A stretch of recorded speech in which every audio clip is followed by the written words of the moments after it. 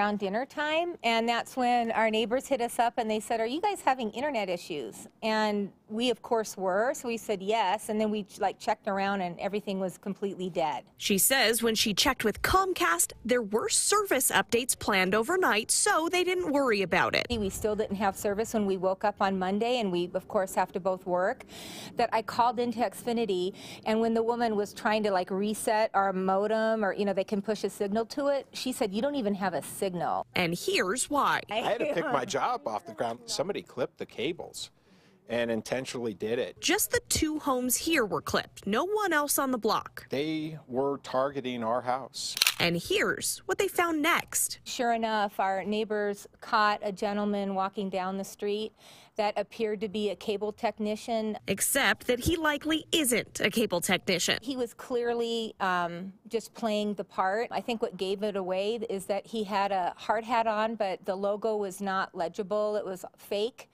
And he also had tennis shoes and not work boots on. And now they're worried cutting the lines wasn't his end goal. When I called the police, they literally told me that normally when that happens, they're doing it to disarm your home alarm system for like burglary. So it, it raised a big red flag. Englewood police are investigating, so if you think you know who this is, you're asked to give them a call. Ashley Michels, Fox 31.